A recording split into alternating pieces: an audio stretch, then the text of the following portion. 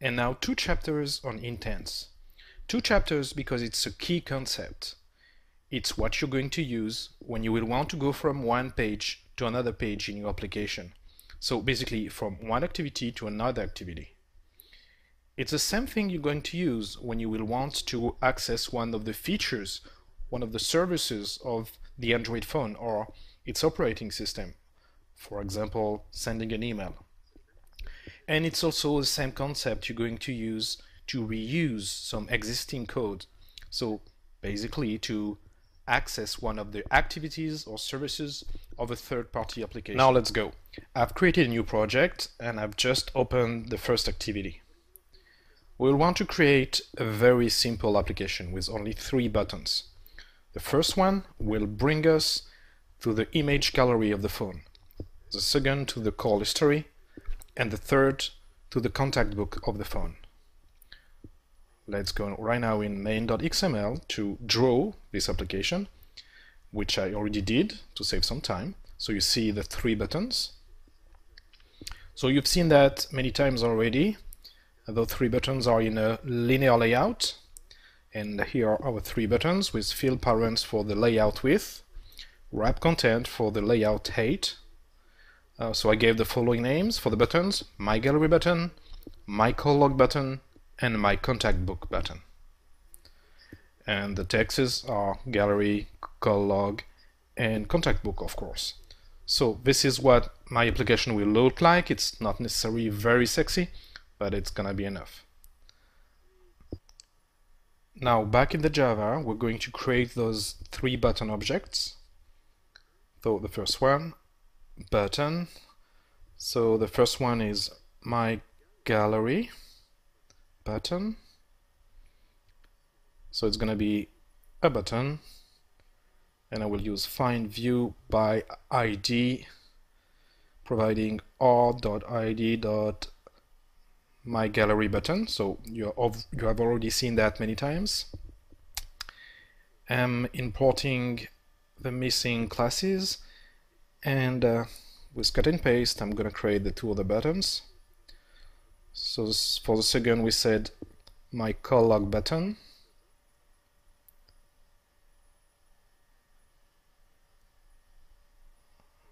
My here it is. And for the third one we've said my contact book button r.id. here it is contact book button. Now I will create my first listener. So my gallery button dot set on click listener. So it's a new button listener button dot on click listener. Nothing really new here. I will go and ask the system to add the unimplemented methods only one of course and it's a non-click method. And here we're going to create our very first intent.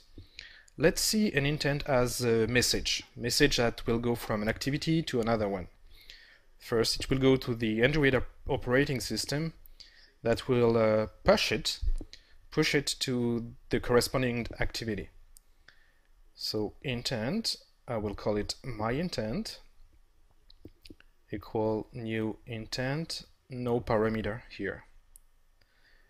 But it's a message. It needs some uh, content. Okay let me import the uh, intent class.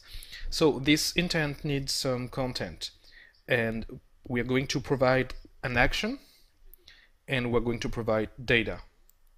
So let's let's do that.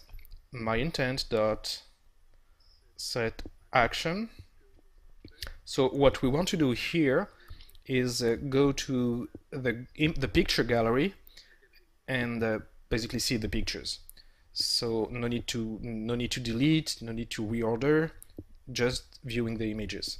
So intent dot and here you see a bunch of different actions and we say that we only want to view so let's find it. Or let's type it. Action view.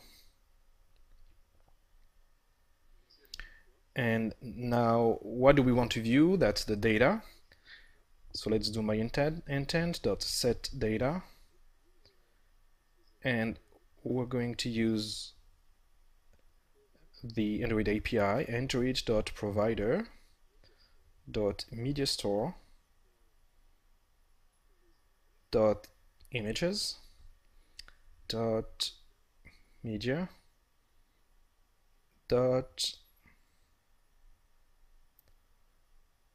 internal content URI because here when you do a set data you need to provide a new URI let me save and let me run now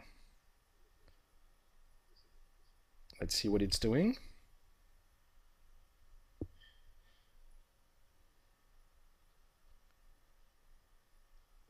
Now it's it's running. I will click on gallery. Um, one two three. Apparently uh, no reaction. This is just because I've created an intent but I'm not using it yet. So we're going to do a start activity because we really want another activity to take the control of the phone. So start activity and my intent of course. Let me save delete this and let's try again.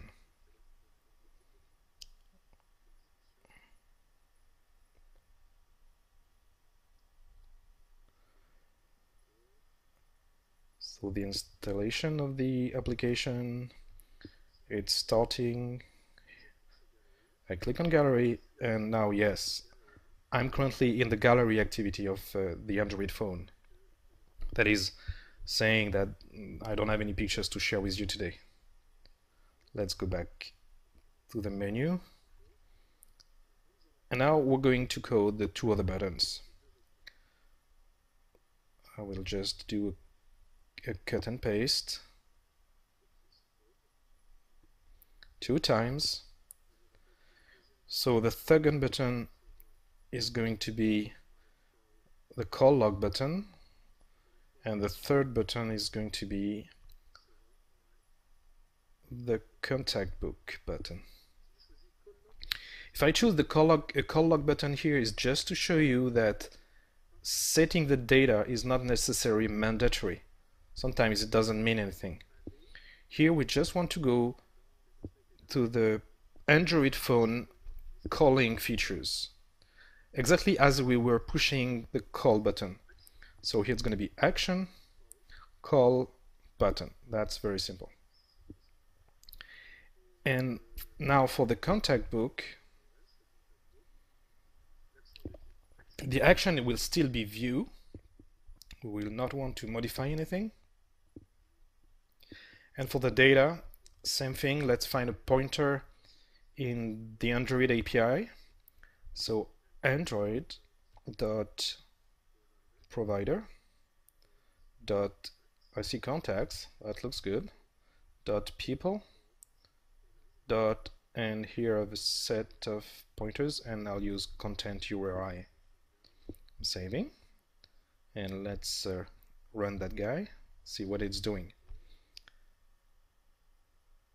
it's installing it's starting and here we go. So I can still go in gallery I didn't break it. Now back on the menu I click on call log and I see that I received two, two calls recently. Back and let's go the to the contact book where apparently have absolutely no entry in the simulator that's gonna be it for this chapter. Was a quick introduction on intents. In the next chapter, we're going to see how we're going to interconnect your activities.